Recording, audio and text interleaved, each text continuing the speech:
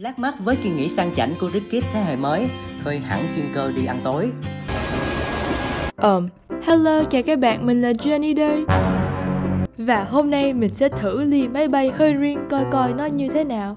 Có đáng không nên ok vào thôi nào. Trong số các Rickis Việt Nam thời điểm hiện tại, Jenny Huỳnh là cái tên khá nổi tiếng khi sở hữu hơn 1,5 triệu lượt theo dõi trên YouTube.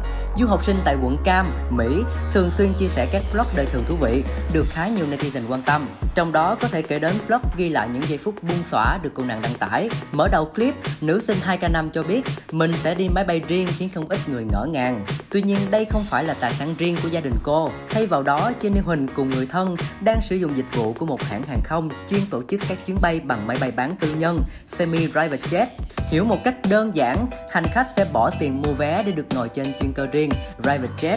Đây là dịch vụ khá phổ biến tại nước ngoài, thích hợp di chuyển qua các thành phố nhỏ, đảm bảo sự riêng tư và cho phép hành khách ngồi theo từng nhóm riêng.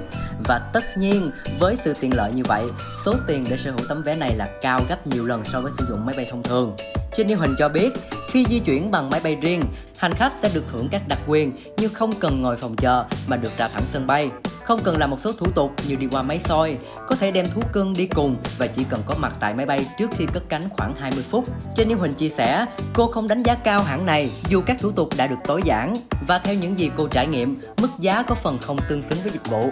Trong đoạn clip, khi gia đình Rickett hạ cánh ở Las Vegas, mọi người không phải lấy hành lý ở băng chuyền như các hãng bình thường mà lấy trực tiếp ở sân bay. Chờ sẵn trên Như Huỳnh và người thân là chiếc limousine đẳng cấp cùng anh tài xế lịch lãm. Theo lịch trình, mọi người ăn tối sớm, sau đó nghỉ ngơi tại khách sạn. Ngày hôm sau, cô thưởng thức bữa tối tại nhà hàng của siêu đầu bếp Gordon Ramsay, Hell Kitchen, trước khi gặp bạn bè tại nhà hàng Eiffel Tower vào buổi tối. Được biết, Eiffel Tower được xây dựng dựa theo hình mẫu là tháp Eiffel ở Paris, Pháp. Ngày cuối cùng của kỳ xã hơi rơi vào Chủ nhật. Trên Như Huỳnh tiếp tục có bữa trưa ấm cúng tại một nhà hàng Trung Quốc, rồi đến gặp gỡ người quen. Cuối cùng là bay trở lại quận Cam. Theo dõi video, không ít dân mạng tỏ ra ngưỡng mộ về kỳ nghỉ tranh xã, đậm mùi tiền của nữ sinh 2K5. Được biết, cuộc sống của giới nhà giàu vốn là chủ đề thu hút sự chú ý của nhiều netizen từ trước đến nay.